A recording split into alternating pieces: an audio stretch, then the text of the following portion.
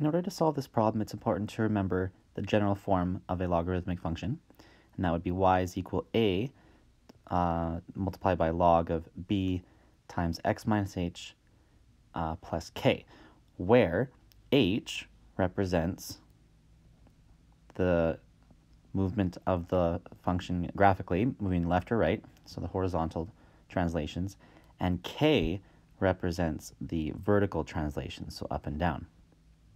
So because it is being moved down 1, for example, k has a value of negative 1.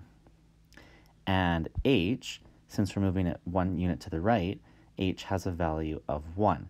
So um, written out, we would have y is equal to log base 2 of x uh, minus 1 minus 1.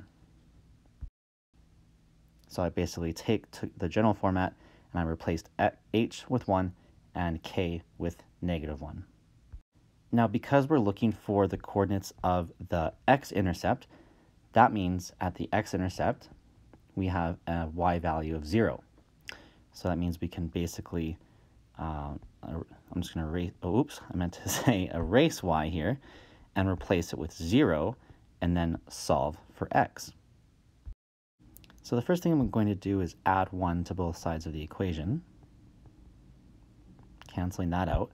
And what we'll have is 1 is equal to log base 2 of x minus 1. Now at this point, I'm going to rewrite this equation um, so that it's an exponential function instead. And so that would be written as our base here, 2 to the power of 1 is equal to x minus 1. Well, that's pretty easy to solve. That means x is going to equal 3. So that means the uh, coordinates of our x-intercept would be 3, 0, which is option number 4. Alright, that'll be it for this video, and thanks for visiting JD's Preparation.